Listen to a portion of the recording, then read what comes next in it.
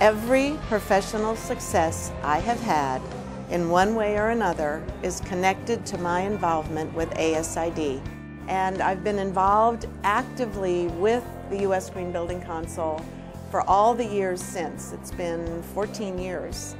And I've been involved with them in a very, very active way, both uh, on behalf of myself and my own development, but also on behalf of ASID. It helped me get a job in a couple of times, and now I'm trying to be a mentor to students. So it's, it's been a lifelong thing. I just couldn't imagine not being a member.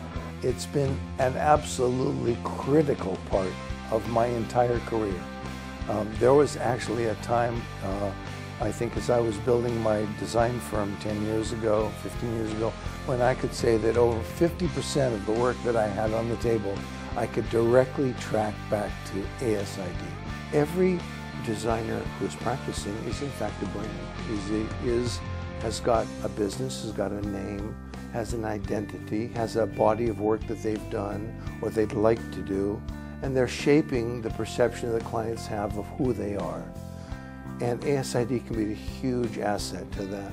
It was certainly one of the primary reasons that I joined ASID from the beginning. I wanted to prove that I was a professional.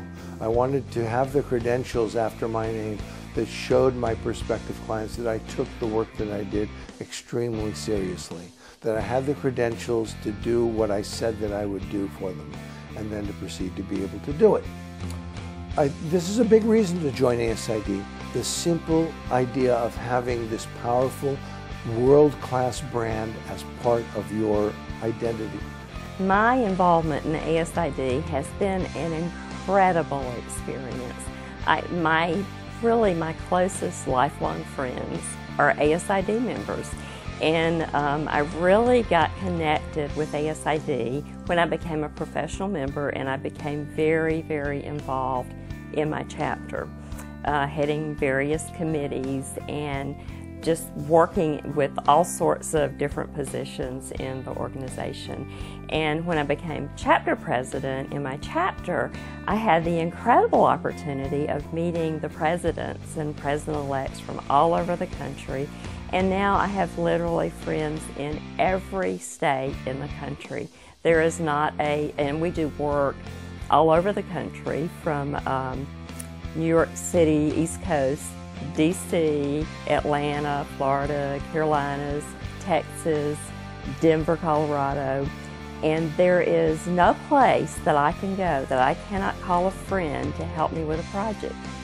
But the very first year, I got incredible referrals from the ASID referral service.